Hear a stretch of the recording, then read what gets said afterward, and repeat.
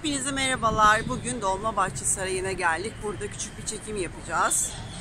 Ee, yalnız e, buraya girerken arkadaşlar fotoğraf makinesi, tripod ve selfie çubuğu almıyorlar. O yüzden biz de girişte bırakmak durumunda kaldık.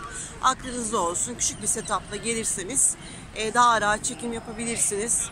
E, bu videoyu da telefonla ve elimle çekiyorum.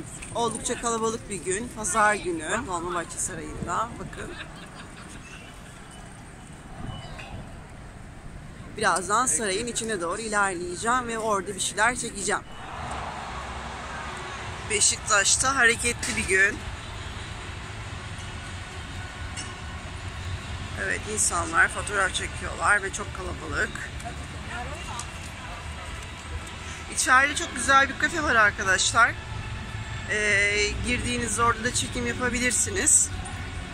Kapıdan giriyorsunuz. Bilet alıyorsunuz tabii ki. Bilet parası ödüyorsunuz. Biz sorduk 90 TL dediler ama fiyatlardan tam emin değiliz. Birazdan ben de soracağım.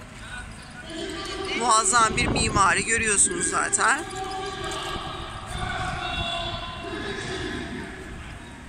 Evet maçtan da sesler geliyor. Böyle bir pazar günü Beşiktaş'ta. Burada kafeler var. Çayınızı kahvenizi içip yemeğinizi de yiyebilirsiniz.